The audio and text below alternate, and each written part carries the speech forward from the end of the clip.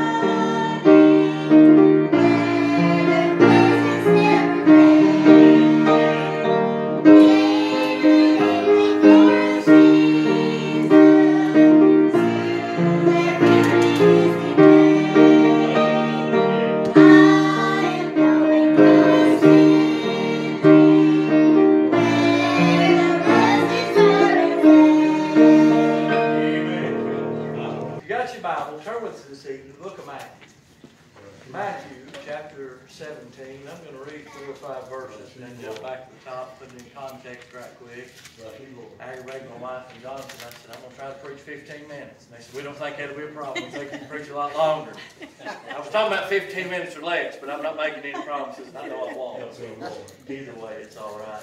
Yes, Lord. I can't help it. God give me a thick book, amen. And all I Bless tell you, you, He's a good God, and I Thank like to talk about Him and brag on Him.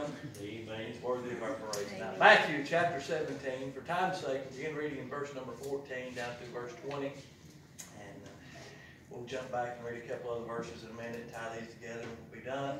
Matthew chapter 17, verse number 14. The Bible said, when they were come to the multitude, there came to him a certain man kneeling down to him and saying, Lord, have mercy on my son, for he is lunatic, and sore vexed, for oftentimes he falleth into the fire and, and oft into the water. And I brought him thy disciples. They couldn't cure him. Then Jesus answered and said, O faithless and perverse generation, how long shall I be with you? How long shall I suffer you? Bring him hither to me. And Jesus rebuked the devil, Yeah, and he departed out of him, and the child was cured from that very hour. yeah. Then came the disciples to Jesus apart and said, Why could not we cast him out? Mm-hmm. And Jesus said unto them, Because of your unbelief. For verily I say unto you, if you have faith as a grain of mustard seed, you shall say unto this mountain, Remove hence to yonder place, and it shall remove. And nothing shall be impossible unto you. Yeah. Father, we thank you and we praise you once again for who and for all that you are. Lord, we thank you for everything you do, Lord, for us, in us, and through us. God, we just ask you to meet with your people tonight. Lord, bless and help in a way that only you can. We'll try the best of our ability to praise you for it. In Christ's name, amen and amen.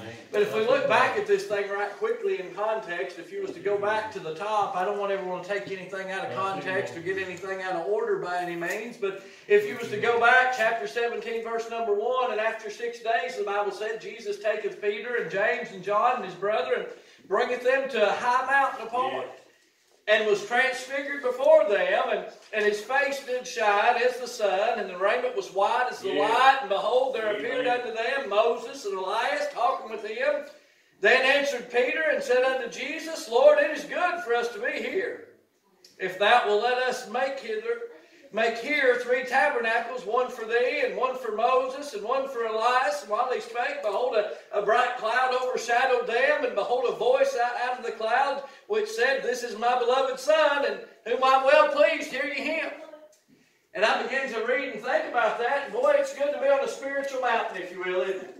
You ever been there, you know what I'm talking about. It's good to be on a spiritual mountain, boy, just being able to feel the presence of God and, and just being able to hear His voice and, and to have that innermost fellowship and relationship, if you will, with God and, and just to enjoy being a Christian, just enjoy being born again, just enjoy serving Him. That's what they had right here. Jesus took them to a mountain. I'm glad when He lifts us up to those high points in our spiritual life and, and how He ministers to us and through us and for us and, and does all these things. And, and man, they was there and they saw him and, and all those things and, and they had a desire to serve him. They said, Lord, we want to build three, not just one church, we want to build three up here on this mountain. And I mean, that's a lot of work and a lot of labor, but they wasn't worried about it because they was with him. Yeah.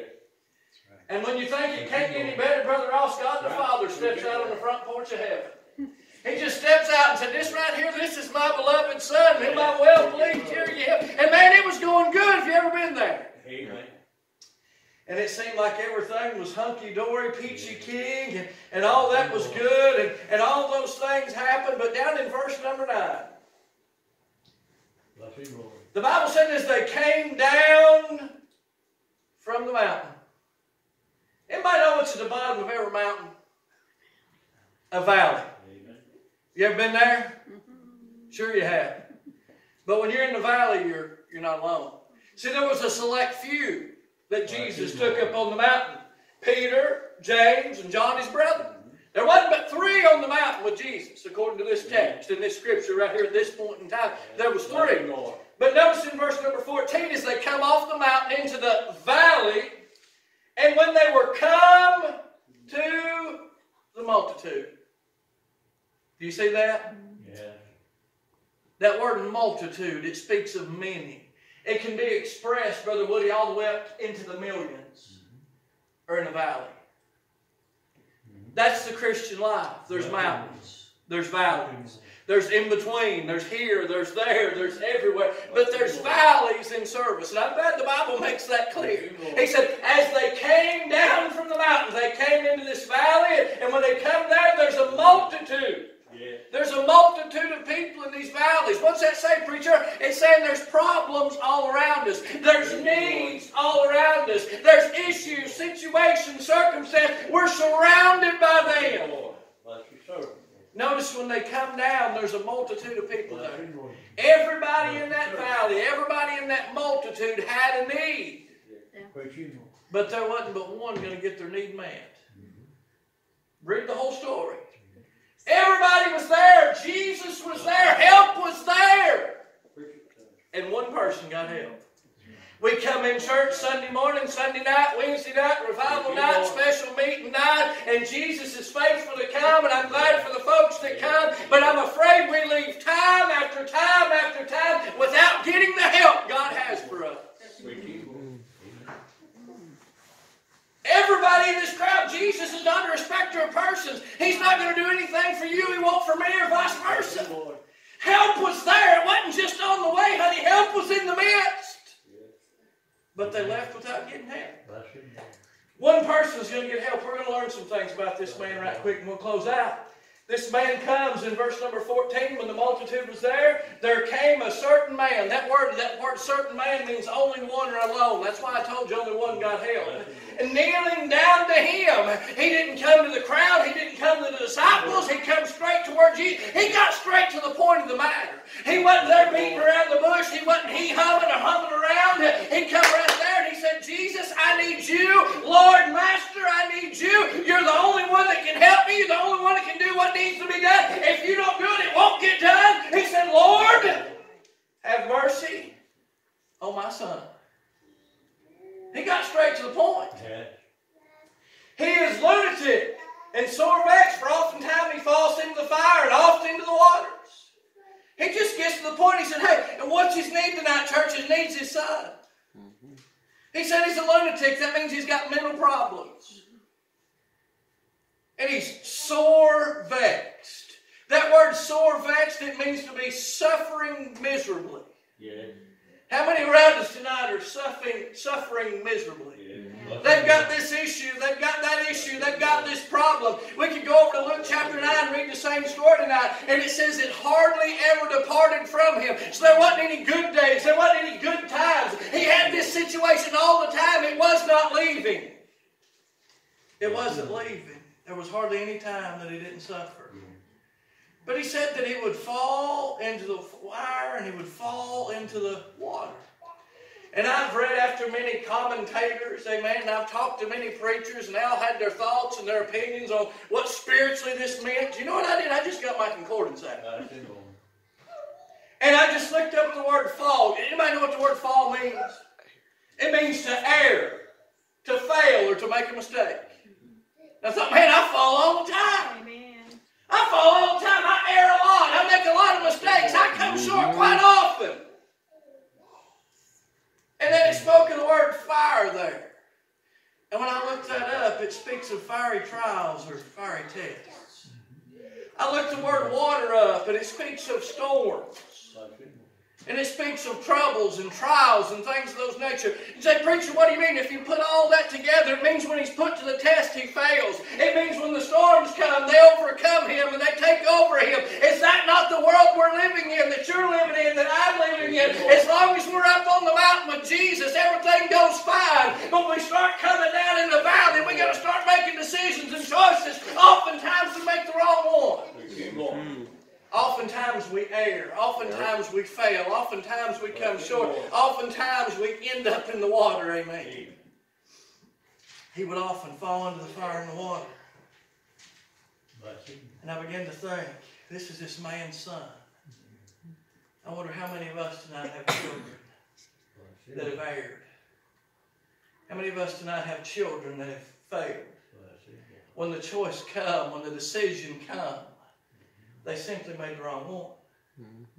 And we can say they're with the wrong crowd. We can blame it on the crowd all they want to. But I'm glad I am what I am tonight, not of myself, by the grace of God. I'm not better than they are. So don't misunderstand what the preacher's saying tonight. I'm preaching as a man in the flesh tonight. I, I'm not any better than you. I'm not any better than them. If God hadn't have brought me from where I was, I would still be there if I wasn't dead in hell. I didn't pull myself up by my own bootstraps. I didn't get out because of my goodness or because of who I was. I got out because the Savior came down in the valley where I was at. And because I got to where He was because He brought me there. Or I'd still be in the shape I was in or worse. That's it, Lord. Amen. But so we see that this man has a son. We see his, his issue. That's it, Lord.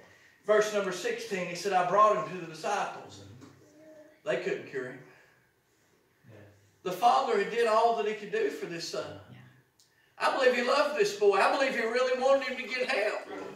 I believe he was doing everything that he could do. He said, Man, I, I, like, preacher, how you talking about that? I believe he's come to a point where he truly feels helpless. He says, man, I've give, I've tried, I've talked with him. I've brought him to the preacher. I've brought him to church. I've prayed with him. I've prayed for him. I've done everything that I can do, but he ain't getting any better. He ain't getting any better. Apparently, he'd heard the disciples had some power. So he brought him to the disciples.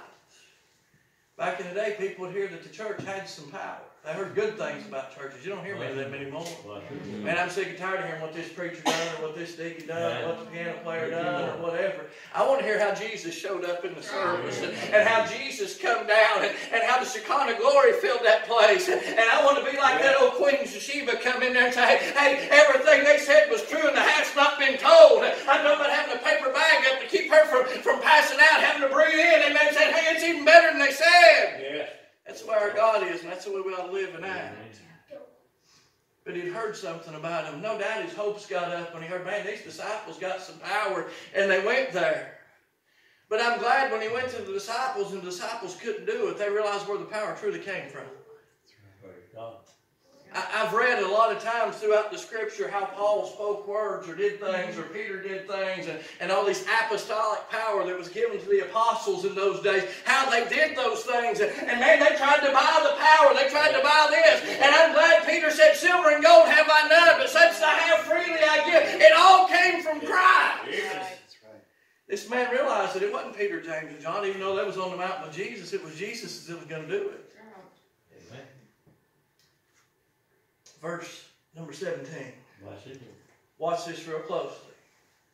Then Jesus answered and said, O faithless and perverse generation, how long shall I be with you? How long shall I suffer you? That word faithless means to, to have a weak or to have no faith. Bless him, Lord. That phrase perverse, it simply means to turn away. How many do we know in our day and time that I believe were truly saved and born again? They was something for God. There was a change, a difference made in them. But they come off the mountain, they came in the valley, and they fought, they fell into the water, they fell into the fire. They erred. They erred.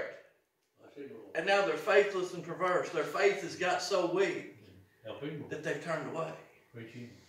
Preach him. They used to come. They used to did. They used to be. They used to was. Preach him, Lord. And don't get me wrong, I, Brother Randy, I'm not beating him up tonight. It's by the grace of God I've told you that I'm standing here. Come Wednesday night, you might say, Where brother, where's Brother Chris at? Bless him, Lord. It's him that keeps me coming. Amen. It's his will, it's his word, it's his desire, it's what he's put inside of me. If I get in a valley so deep and so dark that I can't look up and I'm and far so far that I can't go any further, please come and knock on my door. Please come and remind me that the same God that saved me still loves me and he has a desire for me and he still wants me to come. Go call my disciples and Peter. Yeah. There's sometimes I'm Peter, I've got foot and mouth disease. Mm-hmm. But I'm glad he still calls for me, he still desires Bless me. him, Lord. Yes. I'm not preaching as heady and high-minded tonight. Bless him.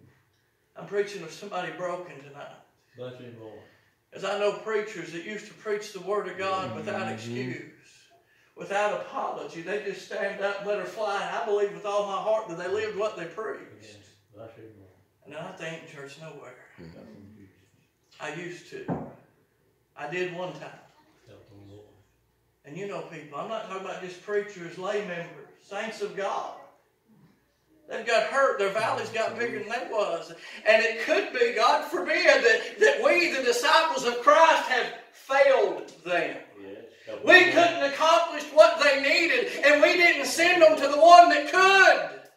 Praise God. Yes. He shows their lack of faith. He shows their turning away. But I'm glad in the midst of all that, he still gives an invitation. Yes. Preacher, what are you talking about? Even after he spoke of their perverseness, even after he spoke of their faithlessness, how long shall I suffer you? And he said, Bring him hither to me. Yes. Just bring him to me. Church, I'm glad tonight if we can just get it to Jesus, Amen. everything's going to be okay. Yeah. As long as I can get to Him, everything's going to be just fine. As long as there's not a barrier there. I'm glad the veil was rent from top to bottom and the door was open. And He said, Whosoever will, let him come. I'm glad He's made a way. And I'm glad the veil's been open for you and I. Hallelujah. Verse number 18. As soon as He brought him to Him. And Jesus rebuked who? The devil. Amen. Super good. You know why a lot of the folks act the way that they act and do the things they do? Because of the devil. Amen. I read more than one occasion in the Bible, you're of your father, the devil. Yes. Who was he? He was a liar from the beginning. He Yeah. spoke not the truth. He was a murderer. He come to steal, to kill, and to destroy. Amen. And he does really good at what he does. He's a good devil, amen. At what he does. Yes, we're dead. He's a good devil. Bless him. But after the Father brings him to him, notice. After he's cast out the devil and he departed out of him, the child was cured from that very hour. Amen. I'm glad getting to Jesus is not a 12 step process. Right. I've talked to people that said, well, before you can be saved, you're going to have to do this and this and this and this and that. You're going to have to do this, you have to do that. For whosoever shall call upon the name of the Lord shall be saved. Sirs, what must I do to be saved? Believe on the name of the Lord Jesus Christ, and thou shalt be saved, and thy household. Amen. That sounds pretty simple. Bless him, Lord. That's all I did the night that He saved me. If it takes more than that, I'm still lost. Preach it, brother. But I know what He came into me. I know what He done in me, through me, and for me. Preach him, Lord. But notice He was, he was healed. Bless him. But notice after Jesus did this healing, notice the reaction of his disciples. Yes. Then came the disciples to Jesus apart. They didn't ask this openly because they didn't want everybody to know the answer. And said, Why could we not cast him out? I think what they could have been saying in reality is, Lord, where's the power gone? Lord, there was a time that I had power with you in my life. There was a time that I was closer to you. There was a time that I clinged to you. There was a time that I depended on you. There was a time that I might have been a little bit more spiritual. Is that okay? Yes. Bless him, Lord. There was a time that I might have been a little more godly, a little bit more Christ-like, and, and now that's gone. God, where did it go? Bless him, Lord. Where did it go? Lord. Pretty good question, isn't it? Yes. But I'm glad Jesus is faithful to answer. Right. And I'm glad that he'll answer when we're apart and he don't scold us in front of everybody, aren't you? Lord. And Jesus said unto them, because of your unbelief. They have, what is this? This is verse number 20. So what was that? About 15 verses ago, they were on the mountain building temples and tabernacles and doing all these things for God. Now they didn't got enough faith to serve Him 15 verses later. Preach it. Because of your unbelief. Man, you believe enough to build churches, you believe enough to do this, you believe enough to say it's good to be here, but you don't believe enough to, to get the sinner to me. Praise God. And I thought, Brother Gary, that sounds like the church age that we're living in. Yes. We'll give them isms and schisms, and we'll give them this, and we'll quote that, and we'll do the other. We'll be religious. But where's the power going? Yes. Preach it, brother. Where'd the power come from? It came from Him. For ever we get the power, we're going to have to get to Him. Amen. Many of us wrestle with many things, but it seems like we fail so many times. We end up in the fire, we end up in the water, but I'm glad we can answer this invitation that they answered. Just bring it to Him. Bless him, Lord. Why is that? Because He's able to, to take care of it. I read a few things in my study tonight. I'm just going to read you a few verses, give you a few stories, and I'm done. I'm preaching on a thought tonight of just bring it to Him. I drawn a big illustration to get to this because I've seen some things lit up on my page up here that I didn't see when I was in my study. So all that was free. It was just extra free. Bless him, Jesus. But just bring it to Him. I thought about this while I was in my study. Many times it seems like we don't have enough. Have you ever been there? Yeah. Just don't have enough. Whatever it is, time, money, effort, energy, whatever. It don't seem like they have enough. Matthew chapter 14, there was a, a great multitude there. Yes. There was over 5,000 men. I don't think that included the women and children because they called them men, but that's debatable. Yes. And when it come time, they didn't have enough. The man said, hey, let's just send them away. We've just got a few pennies worth, and we don't have this, and we don't have that. The deacons had done that and said, hey, we can't feed this multitude. But I'm glad Jesus wasn't willing to send them away hungry, aren't you? Amen. I'm glad Jesus takes care, feeds, and clothes his children, aren't you? And, and they said, Lord, what are we going to do? And they said, well, there's a, a young lad, he's got five loaves and two fishes. Yes. You, you remember what Jesus said? Just bring it to me. Yes. Just bring it to me. That's what he said. You can go back and read the verses. He said, Jesus said, Bring it to me. He broke it, he blessed it, he fed the multitudes, and there was 12 baskets left over. Isn't that wonderful? Preacher, what he's saying? I'm saying just give Jesus what you got and he'll make it enough. Yeah. Just give him your best. Give him what you got. I don't know who this little lad is, and I guarantee you he didn't give it to the Lord so that he could be written down in the Bible and people could look and say, hey, a little kid can serve God. I'm glad they care. But he was just saying, Lord, this is all I've got. It ain't much. It's just my lunch, but I'll give it to you if you can use it. And God took it and made it more than enough. Isn't that wonderful? No wonder Paul said, I know what it is to be abound and I know what it is to abase, but in all these things I've learned to be content with whatever state that I was in. Why is that, Paul? Because my God is able. He to supply all your needs according to his riches and glory by Christ Jesus. But what really amazed me about this story, if you was to go back over there in- in Matthew chapter 14, reading verse 15, the Bible said they were in a desert place. Yeah. What do you think of when you think of desert? Sand, hot, dry, miserable. I don't like hot, sticky stuff. Lacking of some things. But in verse number 19, the Bible said the Lord commanded them to sit down in green grass. Huh? You ever seen green grass in the midst of a desert? But boy. Preacher, what are you talking about? I'm talking about God's got a field of grace. Yeah. no matter where we are. He's able to take us from a hot, miserable situation, and He leadeth me beside the still water. He maketh me to lie down in the green pastures. Why? Because that's who He is. Because that's where He does. Yea, though I walk through the valley of the shadow of death, I'm glad God's with us tonight. I'm glad God's for us tonight. If we'll just bring it to Him, He'll take care of it.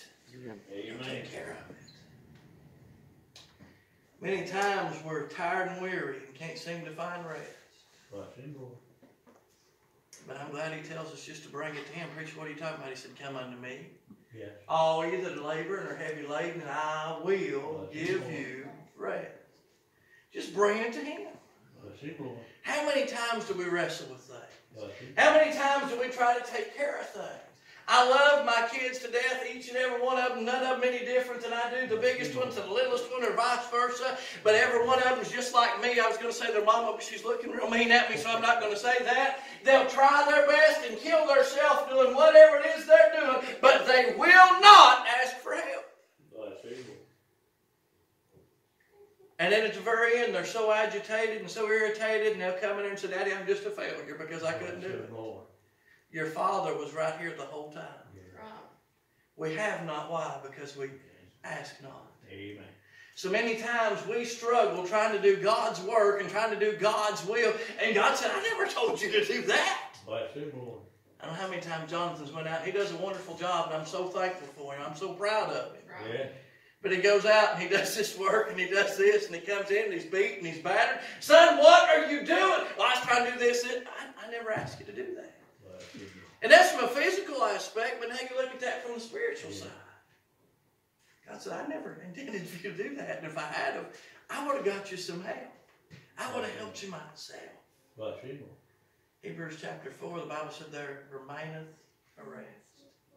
Aren't you glad there's still a rest for the people of God, even in the midst of a falling apart world? When the world's falling apart, I'm glad He gives rest. Yes. Amen. I begin to think about when we're sick and afflicted. And we need help, and we can't help ourselves. Matthew chapter 8, verse 16, the Bible said, They brought unto him many that were possessed with devils. And he cast out the spirits with his word, and he healed all that were sick. What made the difference? They brought it to Jesus. Amen. Matthew chapter 9, verse number 2, the Bible said, And behold, they brought unto him a man sick with palsy. You know what happened there? He healed him, amen. What was the difference? They brought it to Jesus. Matthew chapter 18, verse number 22. The Bible said, And there was brought unto him one possessed with the devil, blind and dumb, and, and he healed him. The blind did see, and the dumb spake, and the deaf did hear. You take him to any other doctor, and they're going to say, That boy's going to be in that shape forever. But there was a great physician said, Just bring him to me. Amen. I thought about our children, how that we need to get them to God. Yeah. Matthew 19, verse number 13. Then were brought unto him little children. I thought, well, we need to get our children to God. I told one of the guys at work the other day, I said, we, we failed miserably as fathers. I said that we wanted, I, I think all men are this way, and I, I hope to an extent they're this way. They want to give their kids more than they had growing up. I didn't have much. I'm thankful for what I had. We lived in an old fallen down house trailer. You didn't have to go outside to see if the wind was blowing because there was a gap this Yeah. wide in the corner and the wind blew it come inside. I slept underneath the blanket. Thank God we went yard selling one time. Thank God for yard sales. Went to a yard sale one time and, and I bought a hair dryer. Little fold up travel size hair dryer, and I'd plug that thing in the wall at night, and I'd put that thing underneath the sheets of my bed, and I'd use that thing while I was away to try to keep warm because it was so cold back there and in the house where I was. But God provided and was faithful. Yeah. So I made up my mind. I taught my wife that trick in the first house that we lived in together. Bless you, Lord. She thought I was crazy, but then she realized it was warm. Then we got an electric blanket. I mean, we was high class hillbillies at that point. But she'd reach up and cut the air conditioner on the window right above the bed when the blanket got too hot instead of turn the blanket off. But anyway, I'm trying to get somewhere. Bless you, Lord. I made up my mind. I, I wanted my kids to have more than I did. Bless you, Lord. I want them to have a, a nicer house per se. I want them to have nicer clothes. All mine was hand-me-downs or fit-ems. They call a lot of times they didn't even fit. Man, I'm just glad to get them and put them on. Bless you, Lord. But I told that man, it was right before I left my last job, working 60, 70, 80 hours a week. I stood out there and I prayed about it and I'd wrestled with it. My son growed up, my daughters was growing real, real fast, and I was missing it. I said, here I'm out here trying to give them worldly things. And I said, I'm missing the mark so bad because God wants them to have a daddy. I said, I'll leave in the morning before they get out of bed. I get home at night after they've already went to bed. If I see them, it's for a little while on Sunday, or if I get off in time on Wednesday night for church or whatever. And I said, I'm failing as a father because I'm not there for my kids. Bless you, Lord. I said, I need to spend more time getting them to God. Bless you, Lord. God closed the door with that job, and He put me in a job where most of the time I can work eight hours, uh, eight hours a day, five days a week. There's some times that it adjusts, but before I worked six days a week. They tried to get seven, I told them that wasn't happening. 16, 18 hours a day. The money was great, but if you ain't got time to spend it, you can't enjoy the ones you're spending on, then why have it? If I can't have a life and can't have my family, do I have one? Bless you, Lord. But we've worried about all these things, but they brought them to God. Bless you, Lord. Preacher, what are you saying? I'm saying we've told them, we've brought them, we've prayed for them, we've done all these things, we've cried, and we've done all that. Preacher, what do I need to do to get my children to God? You need to give them to God. Bring it out here. Just give it to God. Say, God, if you don't save them, they're going to die and go to hell. God, if you don't move, God, if you ain't big enough, they're not going to get in. Bless you, Lord. I remember when they was trying to bring those children to Jesus that time. The disciples stood there and said, told them pretty much trouble not the master. Bless you, And he said, the kingdom of heaven is so. He said, suffer to be so. Yeah. I'm glad he didn't turn any children away, aren't you? Glad he didn't turn me away that night that I need to get saved. Bless you, Lord. I'm glad he won't turn our children away when they come either. Bless I thought about this tonight, all of our burdens and cares. Bless you, Lord. The Bible said, casting all your cares upon him, for he cares for you. Preacher, what's that mean? It means just bring it to him. Bring it to him. Bless you, Lord. Our situations, our circumstances, our headaches and our heartaches, I'm glad we can just bring them to Jesus, aren't you? Amen. I'm glad a sinner can just bring it to him for salvation. Just call upon the name of the Lord. Bless Lord. But I thought about this in closing. John chapter 21, verse number 25. And the Bible said there are also many other things which Jesus did, the which as they should be written, every one, I suppose, that even the world itself could not contain the books that should be written. And at the end of that, Brother Woody said, Amen. Amen. This is in three and a third, three and a half years of what he done. They said the world couldn't contain all the books. Amen. How much has he done since then? Yeah. How much has he done for you? Bless you, How much has he done for your family? So we base life on mountains and valleys like we started out. Not on what he's done. Not on what he's doing. Bless you, Lord. And not on what he's going to do. He that called us is faithful. Amen. He's faithful. You and I have erred, we've failed, we've been in the fire, we've been in the water, but Jesus has never failed. Amen. He's never come short. Failure is not in his vocabulary.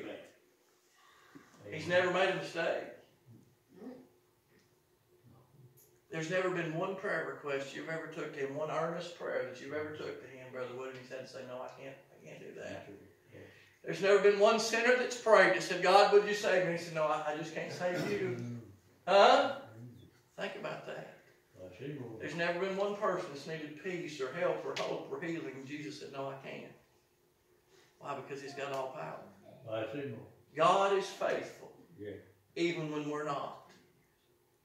When we can't heal, when we can't do these things, I'm glad he still does. Yeah. Preacher, what are you saying? I'm saying the choice is yours tonight. Yeah. You can be the multitude. Help's here. Yeah.